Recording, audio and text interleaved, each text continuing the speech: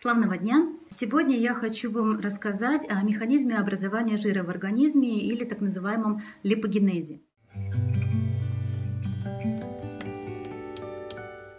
Сожалению, до сих пор существует мнение, что основная причина лишнего веса – это высокое потребление жиров в рационе. В то время как уже есть достаточно много исследований, и современная доказательная медицина говорит о том, что жиры в рационе необходимы, и их нельзя исключать, и более того, они не являются причиной ожирения. Но по-прежнему во многих медицинских учреждениях врачи, если видят высокий холестерин, сажают человека на безжировую диету, считая, что именно высокий холестерин может быть причиной атеросклероза, различных сердечно-сосудистых патологий, и, естественно, лишнего веса, в том числе сюда же относят и метаболический синдром. Так вот, для того, чтобы не быть голословной, я вам хочу немножечко рассказать о механизме образования холестерина, и вы поймете, что жира бояться не нужно, что необходимо, наоборот, его э, количество надо правильно увеличивать в своем рационе. Дело в том, что когда смотрят анализ крови и видят повышенный холестерин, это мало о чем говорит сама цифра холестерина. Необходимо обращать внимание на такие фракции э, холестерина э, в липидограмме, как липопротеиды низкой плотности, либо протеиды высокой плотности, либо протеиды очень низкой плотности и триглицериды. Вот эти факторы вместе в совокупности могут нам уже более подробно сказать, что же происходит с жиром в организме куда же идет жир, который человек потребляет из пищи.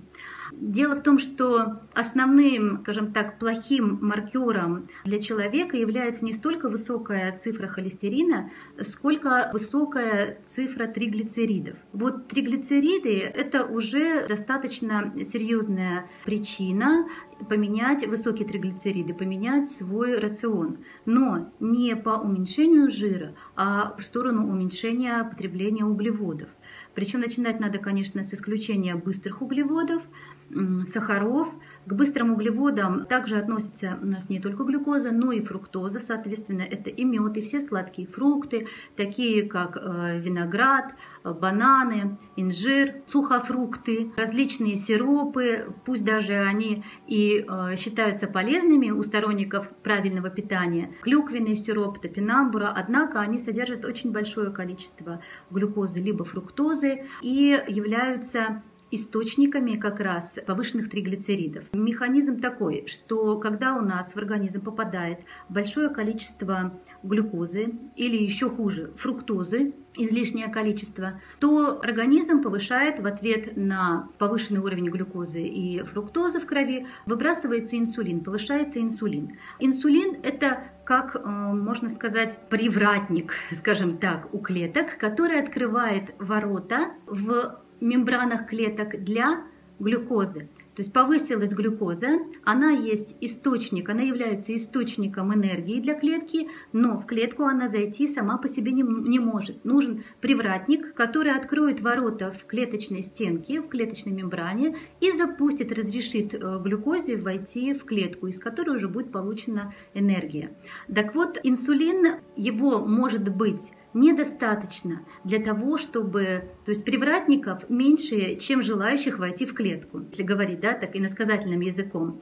И вроде бы зашла глюкоза в клетку, мы получили энергию, ну это я рассматриваю хороший вариант, такой вот идеальный вариант развития событий. Но если было съедено слишком много углеводов, то лишняя глюкоза, она остается невостребованной в крови. И она не выводится из организма, а запасается организмом на всякий случай. Вдруг будет голодное время и понадобится эта глюкоза. И вот запасаться она уже начинает в виде гликогена в мышцах, либо в печени, и в том числе из углеводов, лишних из лишней глюкозы, организм делает триглицериды. И вот эти вот триглицериды мы можем увидеть в анализе крови, и мы можем посмотреть, не превышал ли человек уровень глюкозы э, свой в течение, например, последних трех месяцев.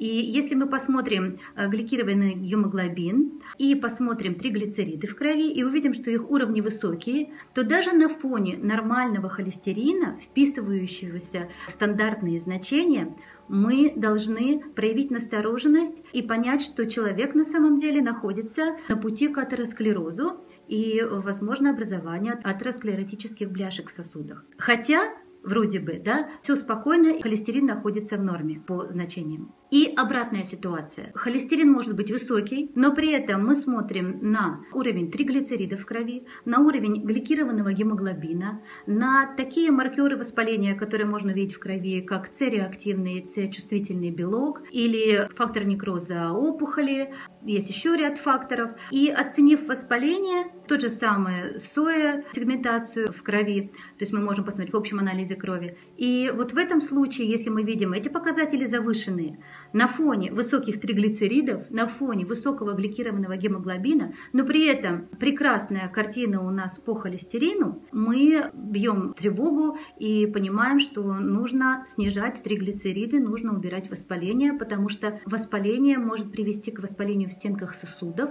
и тогда эти триглицериды сыграют плохую роль и могут вызвать закупорку сосудов. Таким образом, часто снижение жира не дает, даже при продолжительной диете безжировой, не дает никакого результата, смотрят опять кровь через там, пару месяцев и видят, что ничего не изменилось. Не понизились триглицериды, и у человека по-прежнему есть э, риск атеросклероза и сердечно-сосудистых заболеваний. В то же время стоит этому человеку не менять количество жиров в рационе, даже увеличить жир, хороший, правильный жир, об этом отдельно я буду говорить, какой жир является хорошим. Но при этом убрать все быстрые углеводы, вплоть до фруктов, как ни странно, и мы видим очень быструю изменению по снижению триглицеридов. Организм перестает запасать эту лишнюю глюкозу, эту лишнюю фруктозу, э, перестает ее запасать в виде триглицеридов и снижается риск атеросклероза. То есть вот такой вот интересный механизм, на который я хочу обратить внимание. И эти же триглицериды, они, кстати, запасаются в жировых депо. То есть чем больше у вас невостребованной фруктозы и глюкозы в крови, тем выше уровень триглицеридов, и, соответственно, тем больше требуется объем жировых депо, куда эти триглицериды нужно сложить для длительного хранения. И когда наступит голодовка, а, организм будет их использовать в качестве источников энергии. То есть а, начинает расти жировая ткань. По поводу того, какие механизмы способствуют, к сожалению, накоплению триглицеридов, помимо того, что в рационе много глюкозы и фруктозы, я подробно рассказываю на вебинаре, с которого как раз и поступил этот вопрос, а что же является правильным исключить углеводы или жиры для похудения. Вебинар как раз, где мы разбирали подробно все механизмы, приводящие к накоплению жира на животе, брюшном, внутрибрюшному жиру и жира вокруг талии. К этому вебинару можно получить доступ в любое время, самостоятельно его рассмотреть. Какие-то вопросы, вот как сейчас, я освещаю более подробно и на широкую аудиторию, потому что понимаю, что есть сложности восприятия этой информации. Дальше, э, в следующий раз раз я расскажу обязательно, что же правильно есть, какие жиры правильные, какие углеводы верные и какой объем этих углеводов и жиров должен быть в течение дня, чтобы было комфортным питание. Всего хорошего, на связи.